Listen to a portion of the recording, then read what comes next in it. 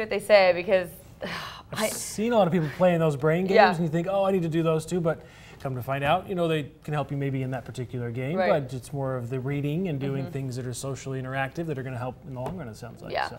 yeah, and what, maybe a little bit of good news because I have all of it. I've tried some of those games. Have you? Okay. I do. I worry about my memory already, and I'm like, this is not good. If I struggle with this already, you know, what's it going to be like 20, 30, 40 years down the road? Uh, but yeah, I've kind of been making that effort to, to read more, you know, more Okay. books and kind of watch fewer TV shows. And if I watch things on Netflix, watch a documentary, something where I'm going to learn something and kind of stimulate the mind a little bit. Yeah, So- I've, I've noticed when you, you know, if you read a book versus maybe watch a TV program, Mm-hmm. I think your mind, you feel a little sharper. Yeah. As far as, uh, you know, what you're able to recall or what, you Right. know, how you perform, things like that. So. I at least feel better about it afterwards right. sometimes. Okay, There well, I'm feeling go. pretty good about what you're dishing us from the weather. Uh, but Yeah, again, it's a little all premature. around pretty uh, fantastic as far as the weather forecast goes for today. So, uh, yeah, gorgeous start. Sunrise uh, not too far from us this morning. Again, it's going to be happening in about 10 minutes. Uh, 6:28 for the Boise area this morning. Sunset 8:55. So, uh, nearly 14 and a half hours of daylight expected for your Tuesday. You can see some of the first light uh, this morning. The live look downtown. Yeah, gorgeous start to the day. Not a cloud uh, really visible in the sky. Maybe a few high thin clouds down to the south of us. But uh, your dog walking forecast this morning.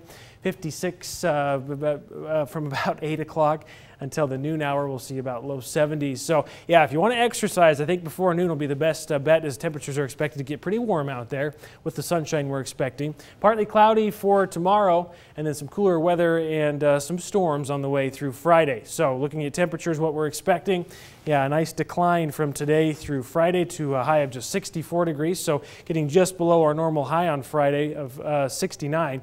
Warming up over the weekend should be pretty nice out there. On this day in history, well, the hottest we've ever been is 94. We're expecting mid 80s as we showed you today, so about 10 degrees still shy of records, but a, a nice and toasty day regardless.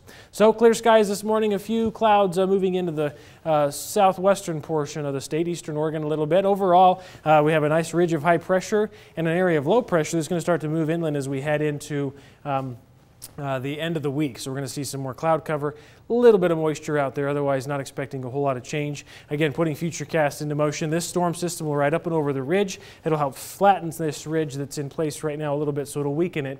That's why we'll see some of the cooler temperatures and, of course, the cloud cover.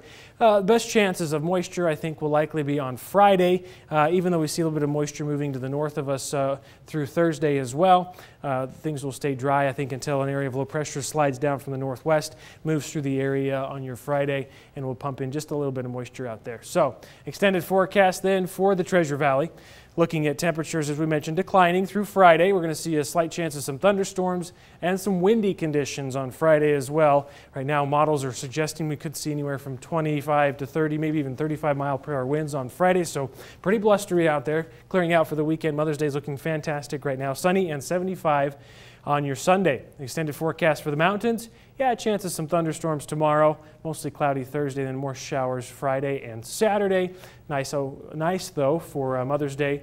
And uh, be sure to check with Roland at 4 and 5:30 for the update on the forecast. But all in all, can't complain about today. Yeah, I really can't. I think I'll uh, use Friday, the cool down, as an excuse to maybe stay in and uh, read a book or watch some TV, whichever you decide in the moment, Maybe. and then uh, get back outside for the weekend because it looks gorgeous. So, Phenomenal. Can't complain. yeah, good news All for right. Mother's Day too. All right, thank you, Nate. All right, commute looking good so far this morning. Still not seeing uh, too much buildup at I-84 in Cloverdale. We'll check in with Ron.